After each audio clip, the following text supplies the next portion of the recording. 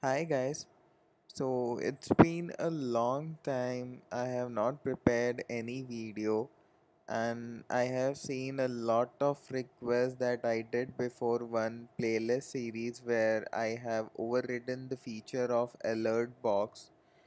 So based on the feedback from some of the developers I'm going to extend this feature to have some buttons inside the alert box so that based on the user whether they are pressing ok button or cancel button a certain operation can be initiated.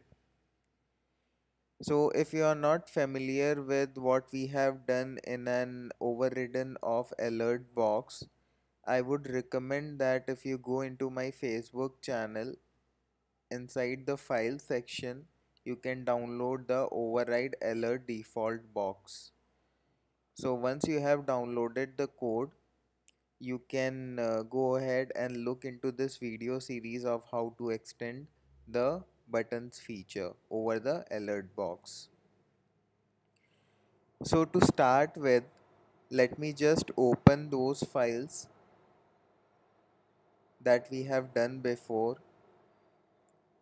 So if I go into my index.html file and open it into my Google Chrome browser, this is the alert feature. Now we want to have two buttons with name OK and cancel and when user press on any one of the button a certain operation needs to be performed. So let me start how we are going to do it. So once you download those code uh, so this is the code that I have not modified. I will show you step by step how you are going to implement this. So let's start with the JavaScript. So first of all in our alert box you could see that there is one div with the name subscribe and whatever the alert and the message is coming up. So it is just appending to the subscribe div element. So this is the div element where the text would be rendered. So now what I am doing I am checking two more parameters that needs to be passed by the user. So OK button and cancel button are the two parameters that are passed to the function. Now I have created one variable with the name button. Now if OK button, if suppose I have not passed any parameter next to the data then it would be undefined. So if it is undefined, not equal to undefined, then I am defining some HTML element which describes the button layout. Similarly doing for the cancel button. If it is having some parameter, then it will uh, have this HTML markup. Lastly, what I am doing is along with the text I am rendering the button.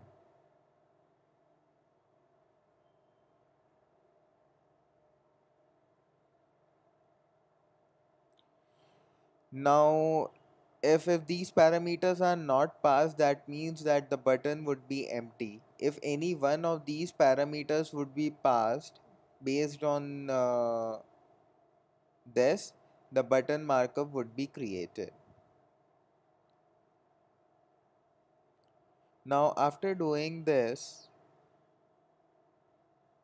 if I now you can see that in my button markup there is one more JavaScript event that is on click. On click is equal to OK button.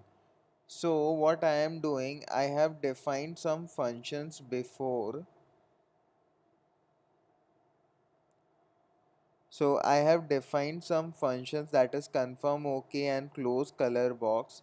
So close color box is what? When the pop-up comes and the user press cancel the color box plugin or the pop-up plugin would be hidden.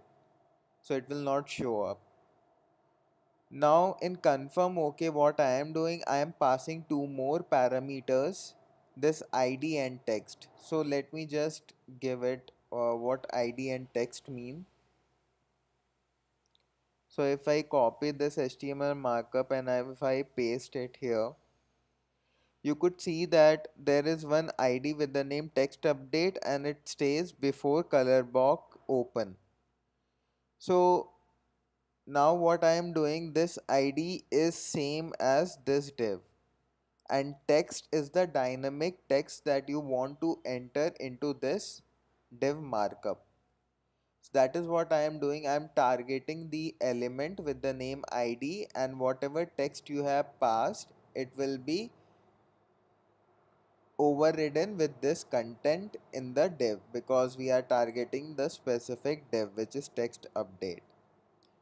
So let me now just show you now we have only this. I have not defined OK button and cancel button. So I don't have any parameter right? So let me just save this file and if I open this so nothing is appearing. No buttons are appearing right? Because these two are not defined. This is coming because we have not hidden the element uh, so that is why it's coming uh, so that's not a problem.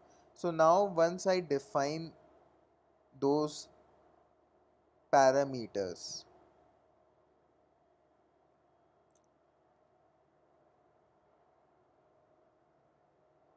If I save this file, you can see that like confirm OK. So this is same as this function, right? Because on click we are putting this OK button.